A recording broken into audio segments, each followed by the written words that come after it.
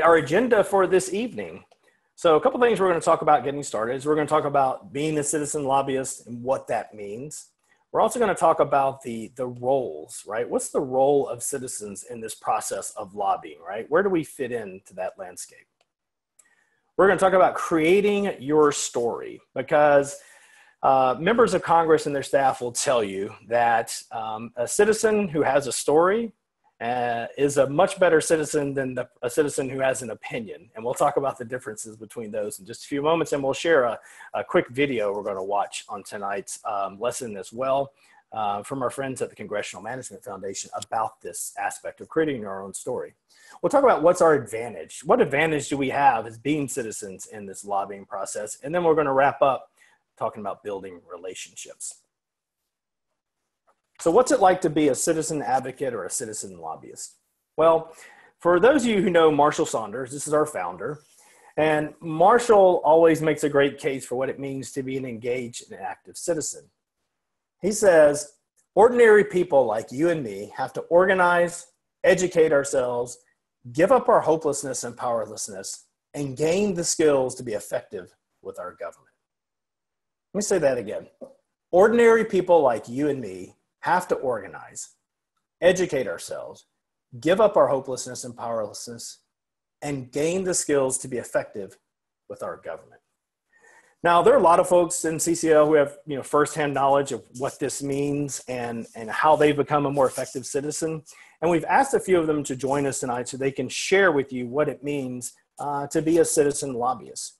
And first up is Bill Barron. Bill Barron is our Wild West Regional Coordinator. And Bill, if you could start off tonight, remember you'll need to unmute yourself. Um, if you would start us off and just answer a couple of questions. Um, those questions being, you know, what does it mean to you personally? You've been doing this for a while to be a citizen advocate or citizen lobbyist. What does that mean to you? And then would you share if there was a maybe an aha moment where you sort of realized that wow, this really works, and what that was like, or you know, where you realized you can make a difference? Sure. Thanks. Can you hear me? Okay. Yeah, we got you loud and clear. Um, well, I think being a citizen advocate for me really means actively participating in the political process, and uh, it feels really good to be doing that. And uh, you know, I like that the work that we are doing, I believe, is for the sake of the greater good. And so it's for me, it's a really great way to communicate my concern. And uh, it's being able to stand up for what I believe in and to be talking to our political leaders about it in a relationship building way. And I've seen lots of personal growth from participating this way. I think for me, my aha moment was really the first time I went to Washington, D.C. to lobby back in 2010. I was terrified to be uh, lobbying my member of Congress, and I didn't feel like I was enough of a person to be there, sort of uh, perspective. And uh, by actually doing it, I realized that I could firsthand that I could do it, and that it was really empowering and rewarding for me. And it made me want to do more and to realize that you know stepping out of my comfort zone is actually uh, kind of a great way to do things sometimes. And uh, i found a lot of growth in the process of doing it. All right. Thank you so much bill. Bill's going to stick around and uh, you know he'll help us answer questions at the end. Um, uh, I'll be surprised if Amy and Andy don't say that their first aha moment was their first time in DC as well, because I think it is for most of us. But so let's talk about, let's move on here, um, and we'll have Andy and Amy share in just a few moments. But let's talk about, you know, why do we lobby as a citizen, right? And so, you know, there's a really, this is a simple reason why we have like the stereotypes that are associated with lobbying and, and why companies are willing to pay so much for lobbyists, right, themselves. And that's because it works right? But the, the main point here that we want to uh, convey tonight is that successful lobbyists, whether they're a, a paid professional lobbyist or whether they're a, a, passionate citizen, the main thing that they do, or the most effective ones, do one thing, and that's develop relationships. And the good news there is, right, you don't need millions of dollars to develop relationships. We all know how to do that. And so we're going to talk about building relationships here in just a moment. But the role of citizens you know, it's it's pretty simple. Uh, you know, you think about this that it's not possible for a member of Congress or their staff to to know every detail about various policies, right? So they do rely on others to inform them. And so that's one of the main reasons we meet with them. But unfortunately, there is a group that is out there informing. There's a couple of groups out there informing them as well, right? That's lobbyists, that's your industry, and that's party, right? So the other thing to consider is this if we are not meeting with them, who is? And we know who is, right? Lobbyists, industry lobbyists, and you know people from their own party. So it's imperative that the role of, of us, for as citizens, that we get involved. And if you think about it, you know, the paid lobbyists meet quite often with their members of Congress, and so should we.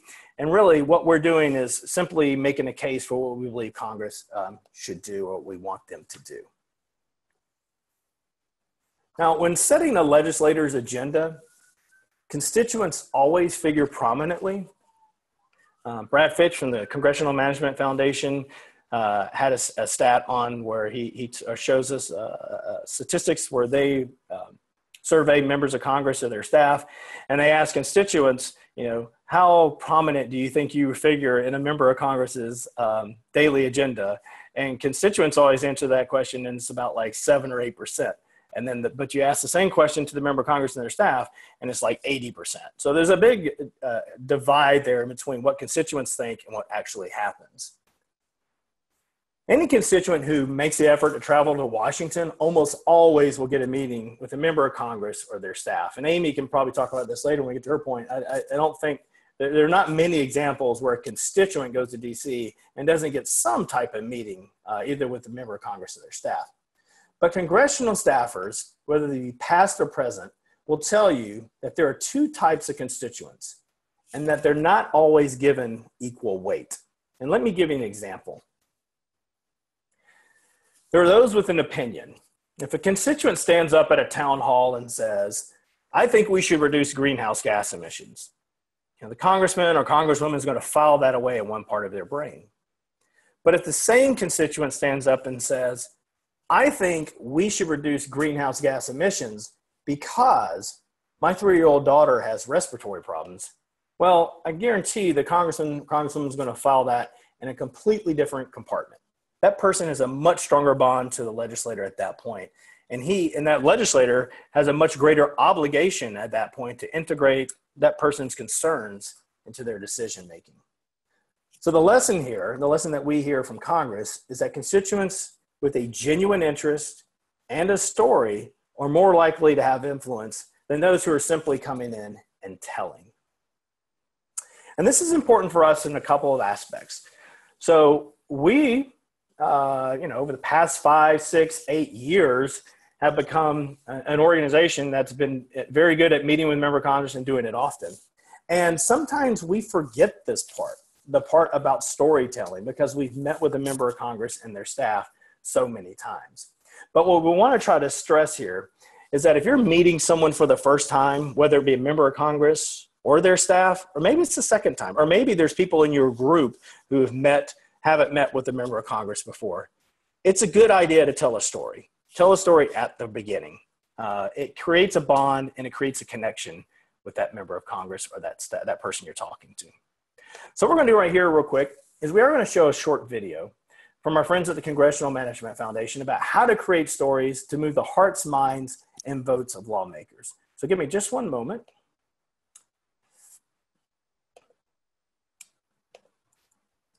And uh, Bill, if you'll give me a thumbs up once this starts, just to make sure. I like to see. And move this share box. Hello and welcome to this short video, Creating Effective Stories to Share with Lawmakers. This video is part of the Congressional Management Foundation's Partnership for a More Perfect Union. We're proud to work with Citizens Climate Education as they empower their supporters to build productive, long-term relationships with members of Congress. In this video, we'll discuss the value of storytelling in the public policy process. We'll walk you through seven elements of good public policy storytelling. And while not part of this video, CMF has an exercise that you can engage in on your own to develop your own story. So why is storytelling important in the public policy process? Well, one reason is this. When we dream alone, it is only a dream. But when we dream together, it is no longer a dream, but the beginning of reality.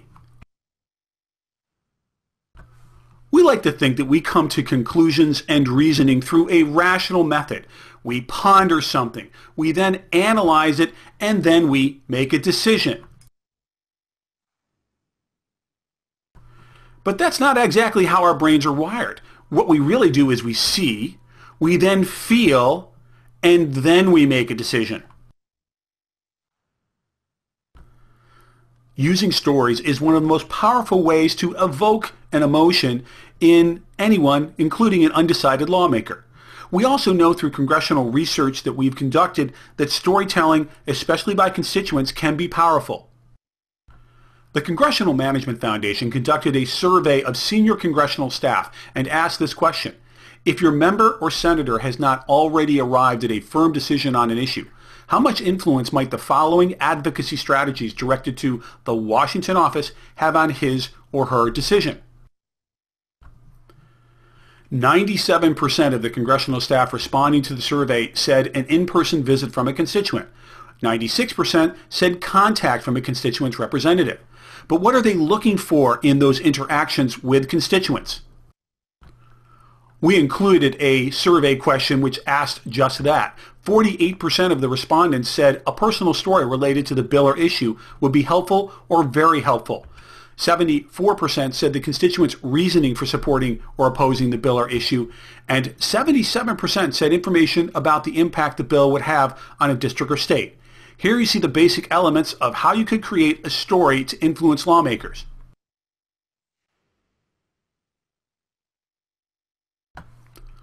One member of Congress said this way, I went to a luncheon that was hosted by cancer centers in my state. Instead of having those guys in white coats doing their lobbying, they brought in patients, kids, and their parents. They all got up and told their story. When it was done, there wasn't a dry eye in the room. So what are the seven elements of good public policy storytelling? First, begin with the end in mind. Know what the want is. If you're trying to influence lawmakers or trying to get them to understand the impact your organization has on a district or state, know what you want to accomplish. Know what the ask is. A storyteller also lays the groundwork and knows where they're going. And consider various tactics and methods for achieving your goal, whether that be flattery, surprise, restraint, or emotion. Element number two, the opening. Set the stage and establish the stakes. The storyteller should know what the first couple of sentences are going to be, a hook that makes the audience, in this case a lawmaker, want to know more. They should establish context for the life or organization that you're going to be describing and what's at stake for the community or a family or even your organization. Element number three, paint the picture. What are the details and what are the senses? What's the taste, touch, hear, and feel that happens? What did you see or hear or taste or smell? You want to create a vivid picture for the audience. Remember, the adjectives of the situation can be incredibly powerful and very helpful to your storytelling. And make it real. Be practical, specific, and graphic. And don't hold anything back. Element number four, the struggle. Describe the fight. Every good story has an antagonist and a protagonist. Identify the conflict. Struggles don't have to be between two organizations. They can be mental, philosophical, or even internal. And play the underdog. Turn weakness into strength. Everyone loves underdogs. They always want to see David beat Goliath. Turn that to your advantage. Element number five, the discovery. Always surprise your audience with something in the middle or near the ending of your story. Wait until it has the most impact. Put it in context between the past and the present and the future. Ask, What did you learn from this and how did that learning impact your life or others now and in the future? Make it last and make it powerful. One of the most powerful elements in public policy storytelling is the introduction of the potential for success and joy. Element number six, we can win. This is defined by success with the hero or heroine winning, and it's also an element of comfort and joy as the audience participates in the process. Every legislator and staff member wants that winning feeling when they're helping out a community or an organization. Give them that opportunity to participate in your success. And the last sentence is essential to good storytelling, what they call in Hollywood the button. Finish with a hook if you're going to interact with a lawmaker and their staff, know what that last sentence is going to be. Memorize it and know when to use it. And exercise restraint. Knock them over with a feather because of its good crafting. And remember why you're telling the story to a public policy official in the first place. Because we in America do not have a government by the majority. We have a government by the majority who participate. So let's stop right here and let's hear from another one of our um, uh, veteran CCL uh, lobbyists here, Mr. Andy Beahrs. And Andy is our uh, CCL Strategic Partnerships Coordinator. And Andy, um, if you would go ahead and unmute your line. And uh, what I'd like for you to do is, you know, really answer the same questions that Bill did earlier. You know, what does it mean being a citizen advocate or citizen lobbyist to you? And, and what was your aha moment? Thank you, Ricky. So the first question, what about what being a citizen advocate uh, means to me? Um, for me, it means taking ownership of citizenship on a level that I don't think I'd ever done before. Um, you know, you talked a lot about, or a bit about, the difference between having opinions um, and having real reasons. And for me, I think that uh, being a citizen advocate kind of put me in a place where I had to really be able to back up opinions that I had held for a while and do that not just by uh, coming with kind of a logical support for the opinions that I already um, held and really thinking things through on a deeper level, but also by engaging people with opposing points of view and respecting those opposing points of view enough to um, engage with them 100%. So that's kind of the next level beyond voting, um, beyond talking to friends who might feel the same way, uh, it's just it's engaging with fellow citizens as a citizen. That's very important to me. In terms of my aha moment uh, it won't surprise you like you said to to know that that happened during my first um, session on capitol hill. Uh, i had been assigned to do the appreciation for the meeting. And we went in and you know it was a meeting that i didn't it, was an office that i didn't expect to have a particularly great meeting with. Um, the the congressman was on record as being, um, you know, kind of flirting with climate denial and so forth. Uh, and when we went in, we were meeting. We ended up meeting with his staffer instead of with the congressman, and I was a little disappointed. Didn't get to really do the appreciation quite so much, and the staffer kind of could have cared less that we were we were there. He was being very curt. And then um, eventually, the congressman wandered through and introduced himself briefly, and when he got around to me, I was able to finally say thank you for some work on water that he's done in the state of California, um, kind of a not not directly climate related issue. And I could just see the lights kind of go on for him. Um, it turned from a perfunctory introduction around the room uh, to you know him being truly engaged and and sticking with us for a period of time. And you know, and then the staffer kind of played off him as well and and started engaging more directly and you know i don't know that we really moved him that much except to the point of being willing to talk to us again and continue to have that conversation. And that was that was very important to me to see that you know this really works. Um, it, engaging on that level is the right thing to do. It's also very effective. So that was that was a big moment for me. Thank you so much for for sharing your story andy and i appreciate that that perspective of uh, you know uh, sort of your metamorphosis uh, so to speak. And so, thank you so much for sharing that. So, let's go ahead and continue here and let's talk about a few other things before uh, we wrap up tonight. and We'll stop again for, for Q&A. So uh, next we want to talk about, you know, what to expect uh, uh, when you are lobbying and being a citizen lobbyist. And, you know, what, what, what can you expect when you go to, to lobby with CCL uh, in particular? So first thing you can expect is that um, you're not going to be sent in alone.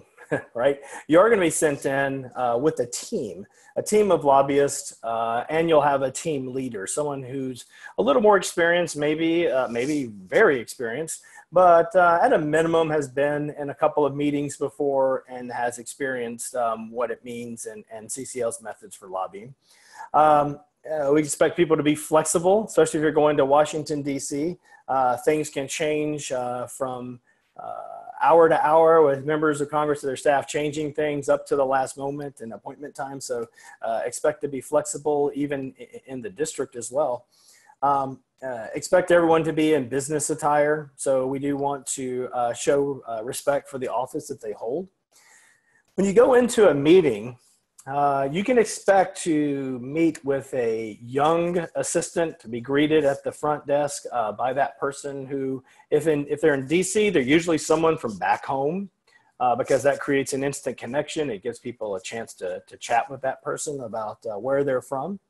And so it's usually a, a, young staff assistant that you'll be greeted by. Um, that person will usually ask you, Oh, do you have your business cards? Um, that serves a couple of purposes. Not only does it help them log who was having a meeting with them, um, but it also serves to let them know, uh, really solidify who is a constituent in this meeting. And you'll see them glance at the business cards and at the addresses for sure.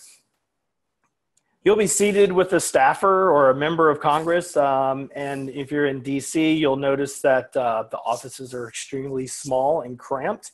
And if that's the case, you may end up meeting in the hall or even in the lobby of the office. And although that can feel strange at times, uh, know that we are not the only ones who do that. and so they have these meetings all the time in the lobby uh, because they, they have very, very small offices. Um, and you'll notice that when you get, uh, get into the office as well. So let's talk about building relationships a little bit here because this is the thing um, that uh, really puts us on uh, even footing with the professional lobbyists, right? But there are also some things that we have to consider that, uh, you know, maybe we actually have advantages uh, over a professional lobbyist, right? So before we begin discussing how to build that relationship, let's take a quick look at the differences between uh, lobbying as a citizen and professional lobbying, right? So obviously a paid lobbyist is a hired gun and a, a, citizen lobbyist is usually a constituent not always. We'll talk about you know we go into some meetings and we're not the constituent but we're there. And there may be a constituent present uh, present. If you talk to a staffer they'll tell you that a paid lobbyist has an opinion again but a citizen lobbyist is, is, is usually someone who's passionate with an interest and has a story that connects with the member of congress. A paid lobbyist is frequently in DC you know, obviously we're only very occasionally in DC unless you live in the DC area. But a paid lobbyist is rarely in the district, and we're always in the district. So that's an advantage for us. You know, the takeaway here is that we're offering very something different, you know, that's been done, that's been ever been done before, but we don't have every advantage. We, we have a passionate interest in the topic. Uh, we live in the lawmakers district, so we really ought to play to those advantages as well. But there's also one thing that we both have in common, and it's this it's what members of Congress are looking for. That is the ability to use the most influential tool of a lobbyist. And the most valuable gift a lobbyist can give a member of Congress, it's not a campaign contribution, but it's a detailed analysis of how a particular issue is going to affect the lawmaker's district or their state. Again, the most influential tool of a lobbyist is knowledge of how a policy decision is going to impact the state or the district. You know, so some state associations, nonprofits, and corporate leaders, you know, they may offer that kind of data, but many do not. And we can say with certainty that no one, save CCL, and maybe some of our partners who've been lobbying on, on uh, with us uh, on, for carbon fee and dividend on our behalf as well, really is identifying researching how carbon fee and dividend impacts the legislators' districts and their constituents. This is our most valuable tool. We have this information and we are trained on how to communicate it and how to deliver carbon fee and dividend. We had to play to those strengths, right? So let's talk about building relationships and then we're going to hear from Amy Bennett and then we're going to wrap up and, um, and take time for some questions here. So building relationships.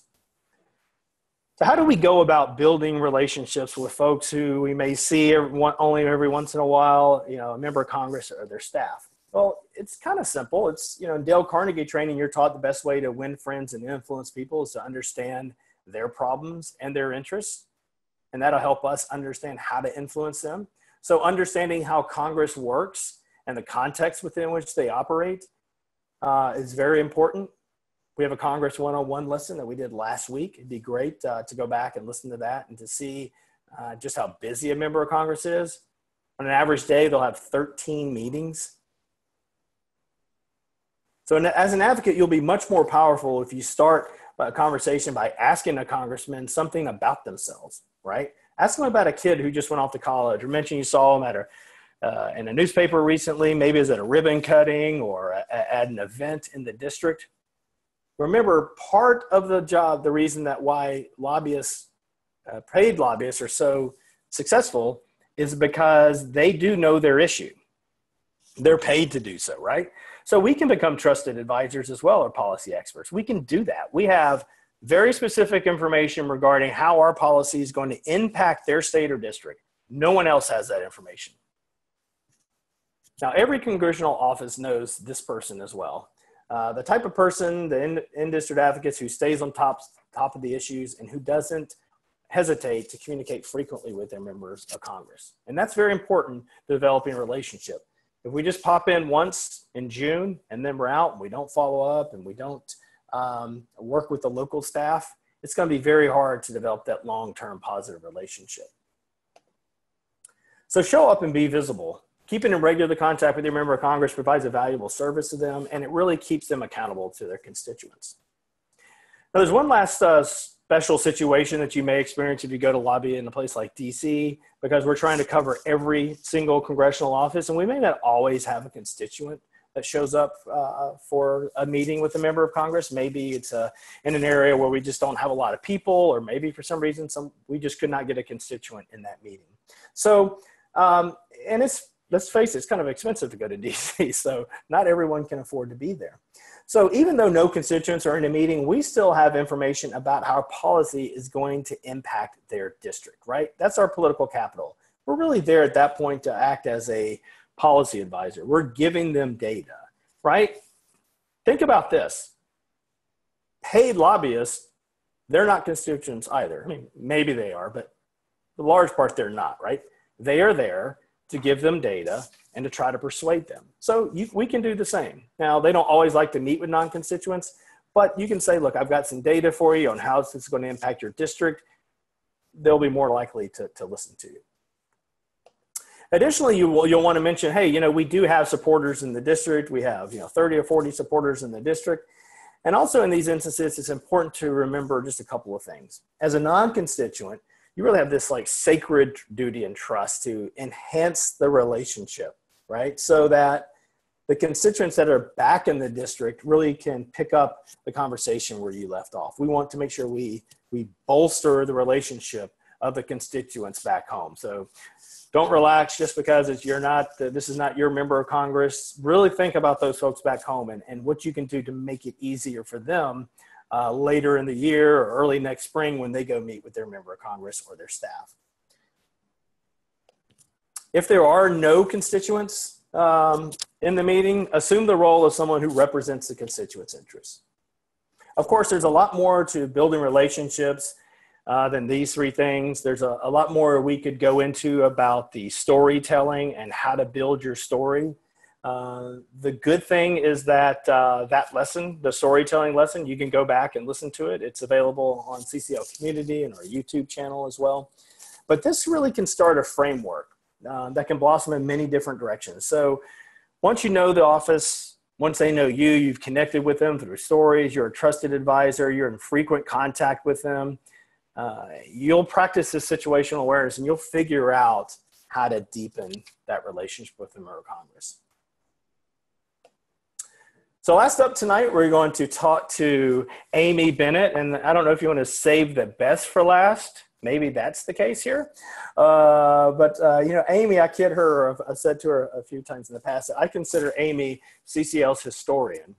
And not that that means because she's old, uh, but because she's been around a long time. She likes to, to, to she gathers all this information and um, you can ask Amy uh, just about any question about CCL, and she's going to know the answer. So, uh, Amy, um, if you wouldn't mind wrapping up tonight, and uh, before we get to the Q and A, and tell us, you know, from your experience, and you've been with CCL a, a quite a long time. Maybe tell us like how long, um, but what does it mean being a citizen advocate to you, and what was your aha moment where you figured out, oh, this is this is really cool and this works. Thanks, Ricky. Thanks, Ricky. Uh-oh, I think Uh-oh, we get the echo. Maybe if you Maybe don't, if you don't screen share. Screen share. Okay, let me unscreen share. No Is that better? Yeah? How's, okay, there we go. Well, this goes way back, even before the first conference. And uh, I think, Bill, you might have been there at the, my first conference. But before that, I think I kind of grew up with being taught by my dad to leave the world a better place. We used to hike around Point Reyes and really developed a love of nature and a love of the ocean. And now I'm in Southern California, and same thing.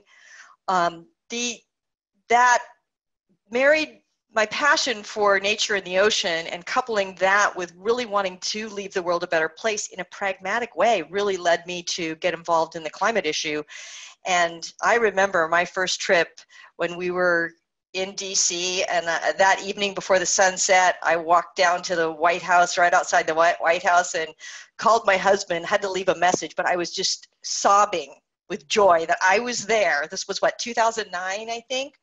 Um, I was there to do what Washington, D.C. was designed for, to be an active participant. And that's to me what lobbying is about. My husband saved that message for me for the longest time. but it was so exciting to say, I'm going to participate, I'm going to do. I'm going to take the actions that will make the place, make the world a better place. So that was uh, that's what it means to me my aha moment, a few of those. Um, one, just knowing that I wasn't going to be alone, that I was supported by a team of lobbyists and a lot of other support, like what Ricky, you built into this, this great education program. But also experiencing in lobby meetings that listening and acknowledging the member of Congress's point of view really works. And the more patient I could learn to be, the more rewarding that was to the relationship. And allowing and acknowledging that other person's values allowed that person to then hear what I had to say. Um, so that and change their own mind in the process rather than me telling the person to change their mind. I'll give you an example. This was a meeting, Andy, you were in this meeting with me, and it was a meeting of uh, in a, of a district that was in a fossil fuel state, and we actually had developed a very very respectful relationship with the the staffer, and we in the meeting did a lot of time listening, asking open ended questions about this member's preferred method of working on the climate issue. We knew that they weren't going to be interested in a tax, they didn't like that idea. Uh, so we really listened a lot and acknowledged that they didn't they did not like the idea of a tax and by the end of it the aide said you know we know citizens climate lobby really is a respectful organization and we know that you'd never say anything bad about our office or negative and likewise we never will uh, say anything negative about you. We your the door is always open for you guys to come visit. Uh, at this point we didn't even have a constituent in the meeting and they had been meeting with us for several years. And uh, we finally asked the question so what you know is there anything you do like about our, our proposal and they actually said yes we love its revenue neutrality and so maybe that's just an inch up the ladder but that was a very valuable inch and and we still have an open you know really good relationship with that office so that was uh, that was my aha moment that listening can work Oh, fantastic, Amy. So, um, Andy, Bill, no, no slight to you, but see why I asked Amy to go last? I mean, she just she cleaned your clocks, man. I'm just kidding. they're, they're, I'm gonna get hate mail from those guys. Uh, no, no. So, okay, a couple things. Uh, let's. I want to just. Uh, I don't want to share the screen again, but I will take Amy's. Uh, we won't have to have watch Amy the whole time there, uh, unless you want to be there the whole time, maybe. Um, so, uh, just a couple key learnings, and we're to stop for for Q and A. Um, key learnings paid lobbyists versus engaged citizens and the difference between the two and, and why we really do um, have an advantage in a lot of ways over paid lobbyists. Um, again, uh, key learning, our most influential tool, um, besides I think our stories, um, is how will our policy impact the members district, right? That's very, very important for them to know. Um, we understand the difference between having an interest and having an opinion uh, how to connect with a story, which is so important, and then the whole uh, aspect of respect, appreciation, and gratitude. Um, you know, Amy, I'm not gonna put you on. The, Well, I'm gonna put you on the spot um, because I know you have this, um, and I didn't ask you to prepare this, but um, and maybe we'll, we you can think about it a second. But um, that part about connecting with the story, I'm sure you've done this before, right? You've been in a member of Congress. You've you've developed your story. Um, is, is there a chance maybe you want to share uh, what your story is that you've used in the past to connect with the members of Congress's office? Well, oftentimes that's been somebody other than myself, and I love Brad's uh, video. I'm going to go back and watch that again because I really do want to buff out my story with yeah. the exact right points. But loving the ocean like I do, I, I love to express that, and also that it's just not my love of the ocean, but what I'm seeing in my own coastal region in Southern California. The, uh, the ocean's warming. We're seeing um, uh, sea lions die because the water is so warm the the new pups stay at home while mom goes out to colder water to fish and she ends up not being able to get get give them the nutrition they need. We're seeing a, a big die off on on sea lions. Fishermen are very well aware of what's going on in our area and are really concerned because all up and down the pacific coast we've seen major die-offs of fish. Um, and and our tur- tourism industry is very dependent on beaches that are in good shape. Um, and so this is the kind of thing that I can bring. The, the three I think are important that I'm passionate about nature, but it's going to affect the economy here. And, um, and we're seeing it. We're seeing the oceans change every day. And I'm weekly right out on the beach seeing it. Uh, and we want our member to be a hero and, and take some steps to stop that from accelerating. Great. Thank you so much, Amy. That's uh, I knew you could do that on the spot. I know you're good at that. Um, but you know, as to Brad's point, it doesn't always have to be um, really emotional or a place or anything like that. And we talk a lot about save versus saver in our uh, climate advocate training and our group uh, uh, start workshops. Um, but for someone like me, um, I think uh, you know my personal story is just it's less emotional. But I, after realizing for 40 something years that I'd been a part of the problem, uh, it would kind of hit me like a ton of bricks. And it was like, wow, I need, uh, I need to be a part of the solution now. And I need to be held accountable for, for the things that I've done as well um, to, to worsen the situation. And so for me, it was all about accountability um, uh, versus, you know, having a, an actual place I love or having kids that, you know, I want to pass on a, a cleaner planet for because I don't have kids. So everyone has their own personal story. Again, um, Brad's point is that uh, you probably want to develop it and be able to express whatever that is. All right, so let's go ahead and stop for, for questions and answers. And Andy and Amy and Bill, um, being that you guys are the veterans, I want you to help out here with uh, a little bit of Q&A. So again, everyone has been muted. So if you have questions about um, you know, citizen lobbyist, um, you know, um, developing your personal story, um, the most influential tool, any of those kinds of questions, uh, please feel free. Uh, you can uh, unmute yourself, uh, click the little microphone symbol next uh, in the lower left-hand portion of your screen. Tell us your name and where you're joining from, or if you're on the phone, do star six and tell us the same thing. Hi, I'm Debbie. Um, I'm in New Hampshire, and uh, I want to know what if you don't have a really good, compelling story? I'm just a privileged kid who who has like not really impacted that strongly by climate change. So, what can I say? Amy, Bill, Andy, you want to jump in, or you want me to jump in? Yeah, I'll, I'll jump in. Yeah. Um, I I mean, I, I would probably dispute the idea that there's anybody that doesn't have a potential story. I mean, I like you know I wouldn't shortchange your kind of hopes for the future or why it is you do this. So even if it's not a story from the past or even in the present, you know, I mean, there's some reason that you do this. There's something that you're concerned about. Maybe there's a memory that you have that hasn't been hit by climate change, but you're concerned that it would it, would wouldn't be available for the next generation, or you're concerned about a specific potential outcome for people on the other side of the world. But that that all counts. I mean, it's a it's a question of just going into what what matters to you. Um, you know, it, it can be something that's a, that's a story in the commonly you know understood way or or something that's just meaningful. And i think that's that's really what it's about is it's, it's kind of like putting yourself out there a little bit um, and and being upfront about why you care. Yeah love it. Thanks andy. Anyone uh, amy uh, bill you want to add to that or? You know i i used to keep a journal and i found that there were although most of it was stuff you would never want to repeat i started finding commonalities in feelings that i had and stories that i found myself saying over and over again. I would encourage you to think about you know what you really care about and why and just talk about it or write it down and it just might all of a sudden surprise you. That's a great idea. Thank you both. Yes. Yeah i, I couldn't add much more to that. I think that's that's great advice. Great thank you appreciate it um, for you thanks for the question and if you got another question that's fine uh, we just uh, had a question from from x whoever X is in the chat wants to know how do we find uh, information on how a member, how this, um, our policy will impact a member of Congress's district. Um, and so I don't want to screen share again because I think for some reason that's creating echo.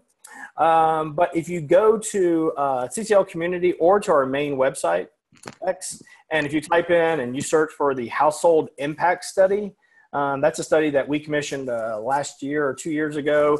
And what it does is it takes a look at the different socioeconomic groups that are within uh, each district and shows them uh, how they would benefit or, uh, and in certain, certain cases, how they would not benefit uh, under our policy. So um, that's the, the, um, uh, that's how you can find it's called the household impact study you could ask your group leader and you could also ask um, uh, any of your regional coordinators, they can help point you to that. Uh, Jeff asks a question, you know, how much time should a story take? Fantastic question, right? Um, and I guess what I'd say to, I'll try to answer that is, um, you know, you may only have, if a member of Congress says, oh, my meeting's only going to be 10 minutes long, uh, you may not have that long to tell story, right? So I think it's, you know, using your situational awareness, figuring out. I'm getting a lot of music from somebody. Uh, hang on one second. No, that was you, Jeff. Sorry. Uh, you can. We'll uh, we'll unmute you in just a second. Um, uh, so just you know, practice awareness. Uh, if they tell you you only have 15 minutes, you, you know you don't have time for three people to tell their story. Um, but I would say if you could tell your story in 60 seconds, that seems to be a, a pretty good a way. And it doesn't have to be like at the beginning either. It can be you know, as you're making a point or talking about the policy and like, you know, saying this, this is why this is so important to me. But I think it usually helps if you tell it more at the beginning because it helps to create that bond and that connection. Bill, Amy, Andy, anything you want to add to that? Uh, yeah, yeah. Just I would say that um, don't necessarily, although the storytelling is incredibly important, don't necessarily get married to the idea that it has to be your particular story.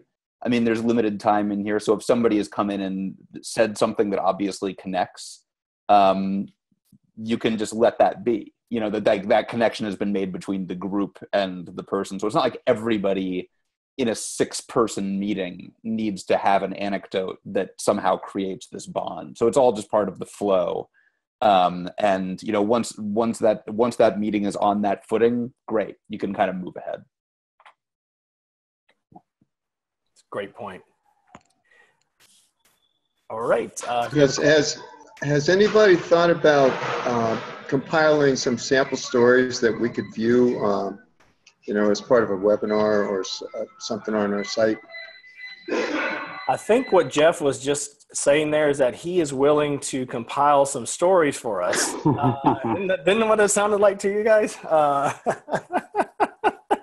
so come on. No, Jeff, I, I, think that's a great idea. Um, and um, uh, I'll, uh, we'll see what we can what, what we can round up. I think it's a fantastic idea. Absolutely. Uh, Bill, Andy, uh, or Bill, did you have a story that you like to share that you've shared in the past? A story of why uh, you know you're involved and, and, and you know how you've connected with your member of Congress before. Um, yeah, I think I think that um, the thing that I've found really effective is that you know I worked in the ski industry for a number of years, and so I am. It's very easy for me to keep it personal and talk about the changes that I saw while working on the mountain and that uh, you know those impacts that we're seeing in the ski industry will have huge effects on our local economy. And uh, you know that it's a, it's a great way for me to keep it really personal and real and down to earth but also be able to tie it in with the issue at large. And so that's that's the angle that i use Yep. And the, the, important thing there is to be genuine. And obviously, Bill's being genuine about that. That's something he's extremely passionate about. And a lot of people, it's um, their stories about their children, and that's why they're there, right? And it's because they have children and grandchildren, or they want to have children and grandchildren. So the, the, the key there is to, to be genuine, but it will connect. Um, uh, yeah, there will, it will connect uh, with the member of Congress. Um, let's see. We still have time, about uh, 10 minutes or so, actually about nine minutes for questions. So if you could press uh, star six on your phone, unmute yourself, tell us your name and where you're joining from, or, or press the microphone symbol. Hi, this is Catherine. And uh, I was wondering, Andy, we, you were the one that was quite uh, garbled over. And what I heard was uh, when you offered appreciation, you could see the light go on and that was all that I could understand. Could you tell just a little bit more about that? Sure. I'm sorry about that. I thought the echo was just for me, and so I tried to kind of fight through it. So I apologize for the uh, for the for the feedback. Yeah, it was it was a meeting in an in an in an office that I didn't expect to have a great relationship with necessarily, but I was in charge of appreciation there, and uh, the initial staffer that was in charge of the meeting just could have cared less, um, couldn't have cared less about about our presence. It was a lot of court, curt sentences and stuff. And eventually, the congressman kind of wandered in, and you know was obviously very busy and all that kind of thing. And we did the brief introductions. Then I did my the, the appreciation and just said thank you so much for your work on you know water storage in the state of California. It's so important to us all. And the, it just flipped, and he kind of like you could just see him warm up right away and he kind of he had some sort of anecdote about how he would go into um, town hall meetings and he was almost telling us that some of the kind of like climate denial stuff that he's on record with was almost just a way of like fighting back at people that he felt like was too, were too aggressive. He gets angry when people come and yell at him at town hall meetings, and you know, so he pushes back with like, you know, yeah, I believe the ch- climate changes. It changes every three months, and just kind of blows off their concerns in return and so it was kind of like there was an opening right there um, that I just found in, incredibly powerful and uh, you know really really opened up how how valuable a, a method and technique um, CCL has going here. So that was it. That's great. So, so it was something specific. Uh, that's really critical. Yeah, mm-hmm. yeah definitely something specific. It's worth putting in the time doing the research on the appreciation. People really, really they appreciate it when you know something they've done especially if it's not something climate related. Like i mean i honestly if you know that they've done work on veterans affairs or something it's like in my experience that's they're impressed because they know that you've looked into it. They know that you're looking for a sense of that it's not just about this one thing. Um, yeah. thank thanks. you. Yeah thanks andy. Thank you catherine. Thank you for the uh, thanks for getting that out because it was uh, very powerful and i'm glad andy was able to uh, have that uh, in an echo-free environment. So thank you so much, Catherine. Uh, again, we have uh, about six minutes left. If you have a question for Andy, Amy, or Bill, uh, please uh, star six if you're on the phone, or press the little microphone symbol next to you or on the lower left-hand portion of your screen. Tell us your name and where you're joining from, and then ask your question.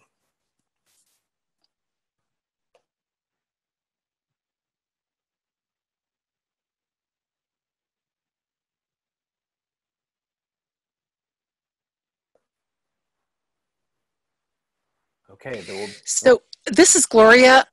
Can you hear me? Yes, Gloria. Go ahead. Where are you for calling from? Or Hi. So I'm calling from Del Mar, California, Southern California. All right, go ahead. So um, since nobody jumped in with a question, I just wanted to comment on something that I've been working on within myself all day today um, with what's going on in Washington today and my representative, Darrell Issa. I'm recognizing that I'm going to be digging deep to find appreciation um, for somebody who is voting in some other areas in a way that I don't agree with. And I'm reminding myself that when I went to DC for the first time with results way back when, and I was working with Cunningham and some different people, Hunter, and there were issues that they believed in very strongly that were not in agreement with myself necessarily, but I could find that one square on the checkerboard where we could stand in agreement on something, providing a good future for our children, whatever it was, and I could find that one square and speak from that place, it created such a, a sense of solidarity and relief in the room that there was not a cantankerous situation, but there was a,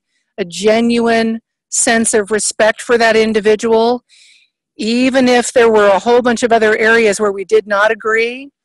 And I'm recognizing I'm going to be really utilizing that tool again to move forward with this conversation with somebody that I may not agree with in other areas. So I just wanted to mention that. I don't know if that's helpful. No, Gloria, I think that's tremendously helpful. You know, um, we base our organization on what you know some of Gandhi's beliefs, but let's face it, we're not Gandhi, right?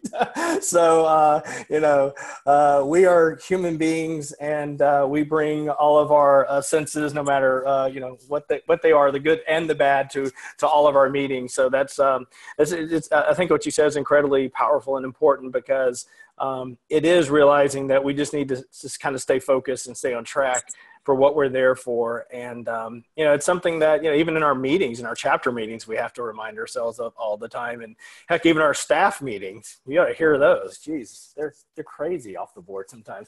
but no, that's, that's great. Thanks for reminding Gloria. That was really, really cool. Um, Craig says, uh, Craig Preston, California says, you know, I tell a story about how my hometown of Watsonville, California, home of Martinelli's apple cider, is struggling to grow apples as there isn't enough cold winter days for the trees to replenish. Is it okay to tell a story about somewhere out of the district? Uh, absolutely. It's your story, Craig. So um, it's, it's what's personal to you. It's what's brought you to DC. It's what's brought you to advocacy. It's, it's, it's the reason. Um, if I want to share a place, it's, it's in Montana, and I talk about that quite often because I um, used to work there. And, uh, you know, Glacier National Park, it doesn't really have any, There's only like about 25 quote unquote glaciers anymore. They're really not. They're just, but, um, so yeah, it's, it's whatever um, is personal to you. It's what, it's the reason why you were there. So that's perfect. Uh, Amy, Bill, or uh, Andy, anything you want to add to that? Yeah, I think that just as long as you're being genuine about a, an experience or you know sharing it from your perspective, uh, wherever that happens to be is where it's where it's most real for you yeah better to um, be honest about a story from out of district than to try to force a connection um, into and you know the people recognize a genuine story that that's meaningful so yeah, I could try to force a story about how it's getting really hot at the Texas Rangers games, but they might not really care too much about that. that might not be the reason why they I got into it. Um, Lowell uh, has a, a, comment in the chat and says, "Seems like a big plus uh, would be quick on our feet when we get the cold shoulder. Uh, that we come to the meeting with a recognition of of the possibility. And, you know, and absolutely, um, not every meeting." Um, is going to go great. I can tell you just my experience over the past four years, they've progressively gotten better. Um, and I don't know if it's because of CCL's reputation or, um, you know, we're just better prepared or what the case may be, but it's very rare that I've been in a bad meeting in the past couple of years. Out of, you know, you add percentage wise. Um, Andy, Bill, Amy, anything you want to say about that? I mean, what's your experience with that? Um, I'd add to that that that we're going to see a lot of new members of Congress who may not know us yet, and so I think it, the appreciation is especially especially good to get off on the right foot because until they know who we are, there might be a preconceived you know idea that we're going to come and point fingers and getting that that done right away up front with the appreciation I think can help redirect any fear that they have on their part that they're going to be yelled at by constituents coming into the office.